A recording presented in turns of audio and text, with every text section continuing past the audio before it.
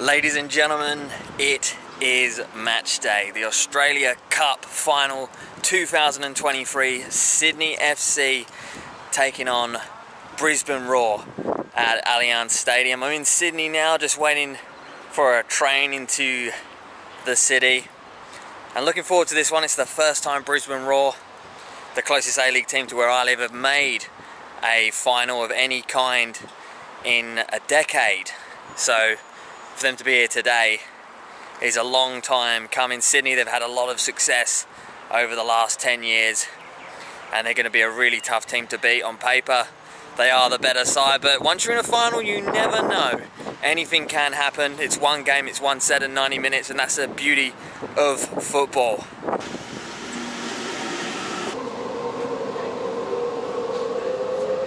Now, in the lead up to this game, there was actually a few conspiracy theories flying around regarding the venue of choice. Now, Sydney have been given hosting rights to this final, and many people thought, well, it's just the same again. Football Australia wanting to ensure that the football is being played, the big games inside Sydney, but it's obviously not the case now. In Brisbane, we only have a few a few football stadiums suitable uh, to be hosting uh, a big match like this. Uh, that's Suncorp Stadium, and then you're looking at being outside the city up in Redcliffe, where the Roar have been playing recently, which isn't barely suitable for the A-League, in my opinion, let alone uh, a final, or down on the, the Gold Coast. So when Suncorp wasn't available, that was it.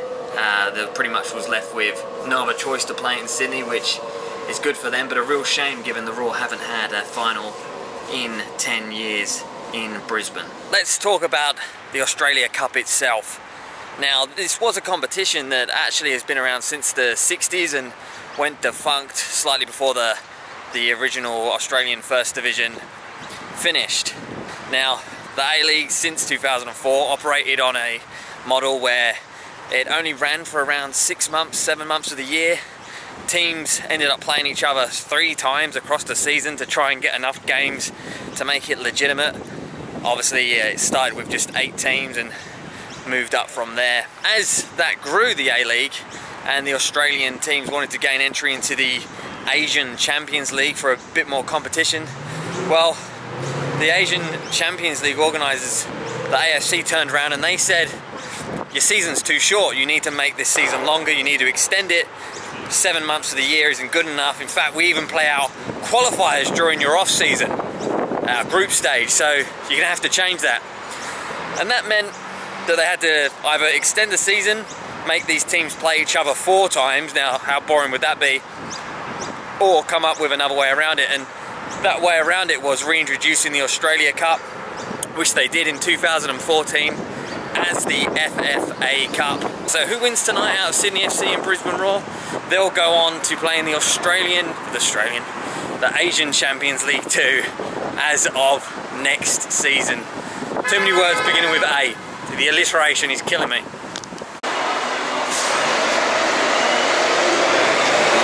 So we're here at the venue for the pre-match drinks for Brisbane Roar supporters.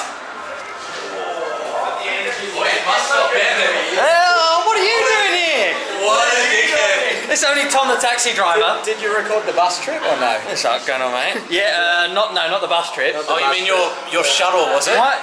You know this is for Roar fans.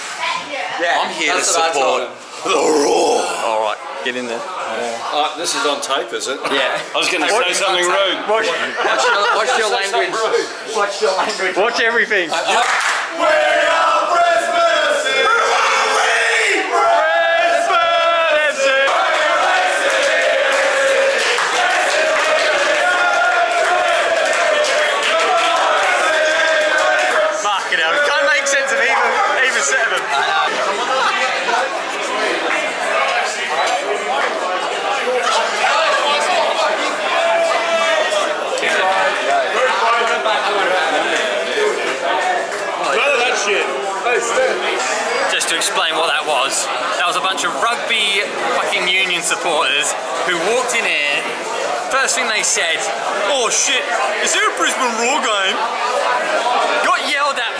lot for, for wearing blue by chance. And um, yeah, then it's ended up nearly into a fight outside with, with Scrappy Doo being held back. It wasn't, it wasn't much at all.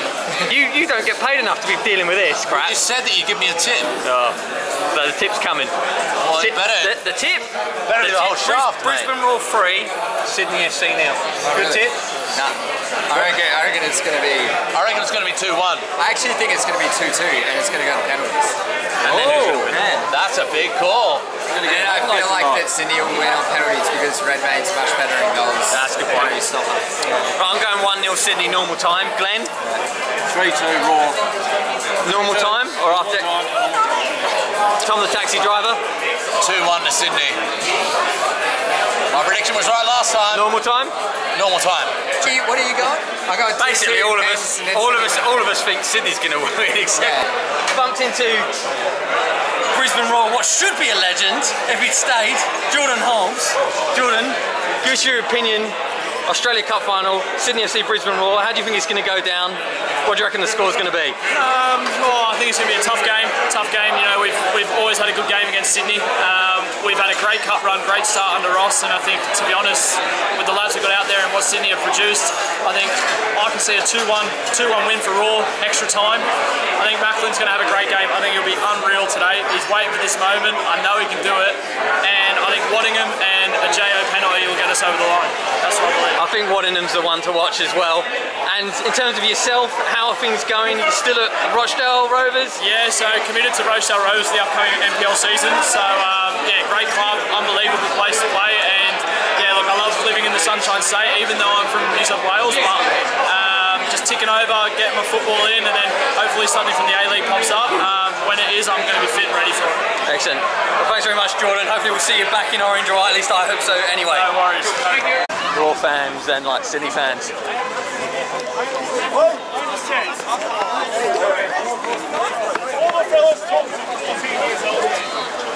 I'll just I'll call you back in a second, mate. Fucking hell.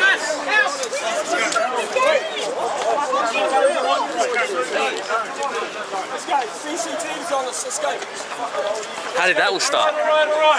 Bro, honestly, we were we were just like chatting and shit, like just marching. And then these cunts with all the Stone Island shit on. Yeah, yeah, yeah. You gotta rep Sydney boys. You gotta rep the badge and stuff. But like, holy fuck, they come across the street and just fucking start going at us, you know. And then No, they went straight for the 15 year olds. Yeah, wait, they're they straight, having they beef with straight- Richard. Wait, they genuinely went for the like little kids first. There's like uh, there's a bloody um, police car that just came past.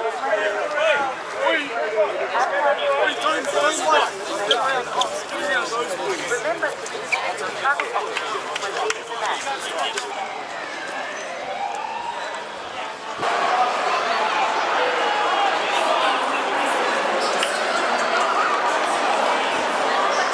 inside the new Allianz Stadium, Moore Park in Sydney.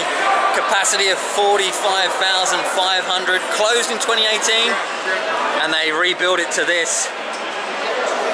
Absolutely stunning football stadium and uh, much better than what it was. Certainly looks like it's going to make for a, a cracking atmosphere. Safe standing at, at the home end for the Sydney fans down there. The lineups are in both of Sydney FC's first choice centre backs are out. So Girdwood and Lacerda are in there in the centre of defence. And no start for Fabio Gomes, Tyrone. Sydney FC's new marquee man from Brazil. Who? Fabio Gomes, Never heard of him. five clubs in two years. Never heard of him. Right, well, he doesn't start either. Brisbane Roar, Waddingham starting up top. Is he the one to watch today? He is. I reckon he'll get a goal tonight.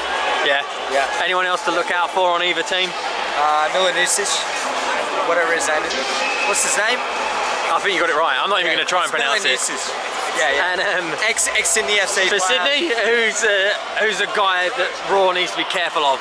They got Wood, but he's not on. He's on. He is on. Fabio Watch Gomes out, watch is out not Wood. on. He's strong, physical, up front, good for headers. good at physical strength. He might snag a goal. I hate Sydney FC. I go for every team against Sydney FC, to be honest. You're going home in the Sydney One of these kids down the front are going to get smacked any second by one of these balls warming up. I don't know why this chick hasn't moved.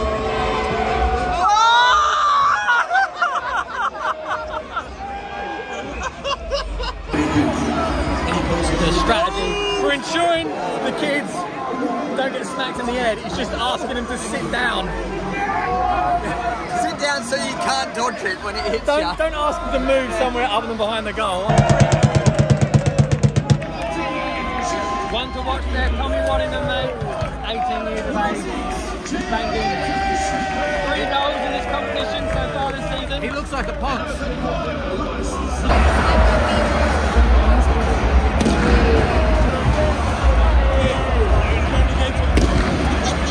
Is that what they're chanting? Yeah, what a waste of money. That's funny as.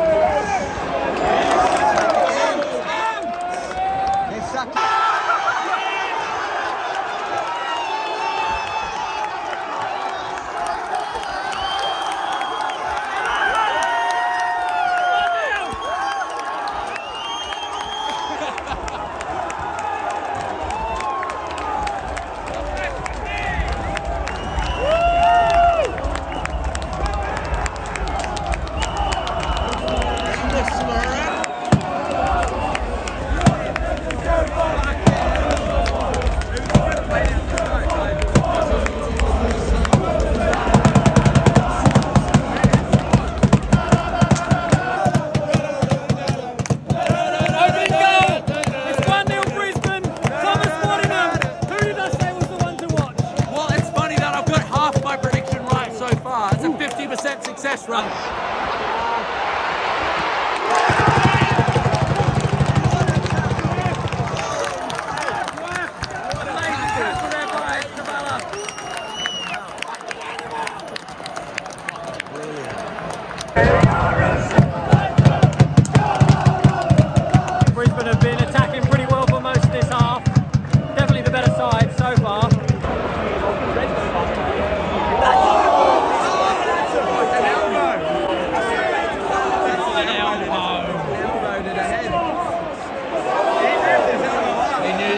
He knew that. Shove him off, but that's not what makes contact. Roar fans wanted a red card for that here, but don't agree. I know if it's like, look at a red, they can. Still waiting, still waiting for this to be sorted out here. You've seen it a couple of times. You reckon red card? Uh, I didn't say red card. However, um, nah, definitely yellow. Definitely yellow, not red. Where is he yellow? Yeah. Everyone's saying it's yellow. I'm happy with the yellow. All right. We've- I've managed to miss every single fucking replay, so if it was a red, I apologise now. Before, I- I before everyone comes at me in the comments. I couldn't see a thing, I'm blind. Yeah, I managed to miss every replay. They- They show one every like four minutes, and if you miss it, you're done.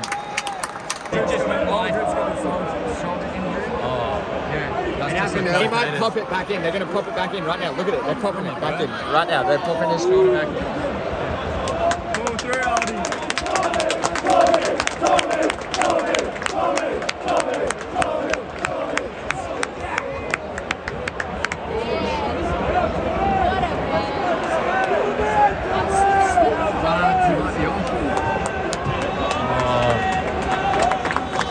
Lucky it's half It's time. halfway past though, like, You reckon?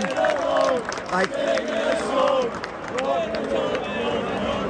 Nah, he's walking fine. I feel Well, he would. It's his yeah, shoulder, yeah, but yeah, yeah. not who you want it to be wheeled off in a fucking wheelchair. It's half time. Brisbane Roar 1, Sydney FC nil, and Brisbane Roar the better side. So surprises all round in that half. They'll get yelled at them half time because Brisbane were all over Sydney that half. Like there wasn't many chances for Sydney at all. Brisbane had majority of possession. They had a lot of the attack. What do you reckon? Are we going to hold on at 1 0 or does it depend on I Tommy think-? I- I that, think- that looks concerning, I right? think I think Sydney will come out a stronger team second half. It's just whether Brisbane can hold on and sneak a counter attack goal because they're going to play counter attacking now. How much does it depend on whether Tommy Aldridge comes off with that shoulder injury? I think he's going to stay on. Tommy Aldridge's a tough cunt. I feel like that Sydney will come out firing next next half for the first 20 minutes. If Brisbane can hold on, then they'll get they'll get a counter attacking goal at about the 80th minute. Yeah, I reckon it Sydney be- need massive changes, that. massive Yeah. changes Yeah, uh, because to get back into this. that would have been a goal for sure. Well done. Great ball.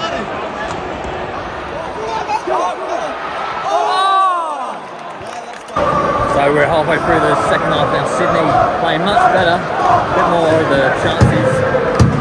Tommy Waddingham's been taken off for another midfielder. So it looks like Brisbane are trying to hold on to this already by bringing on Tomila. Is that how you pronounce his name? Another sub now. Another sub.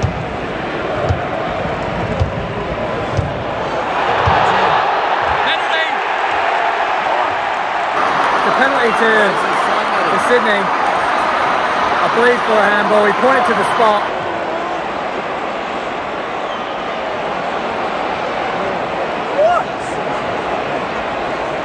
Handball's been given against Henry Hall, but it's very called harsh. penalty, but It's very harsh. is, is there any VAR? No, no VAR. Oh, back up.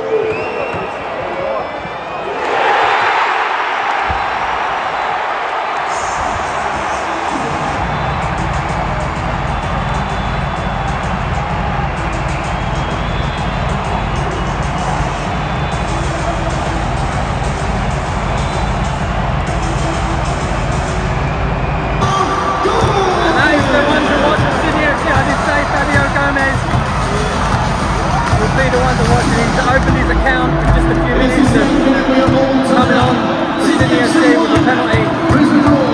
1-1, harsh on Bristol very harsh.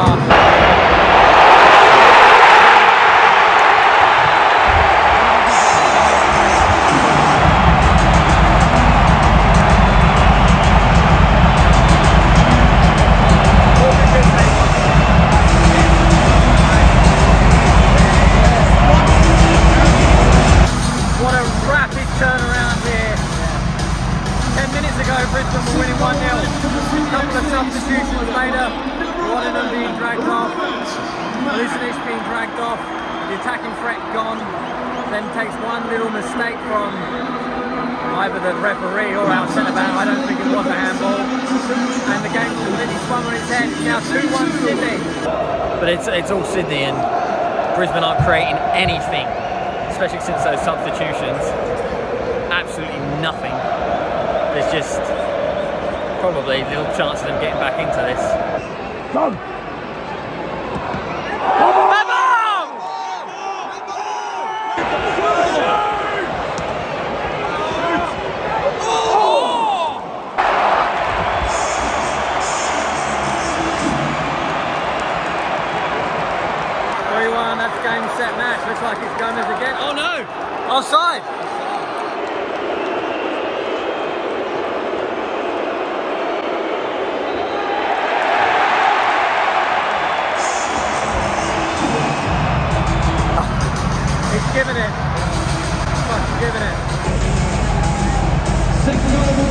It's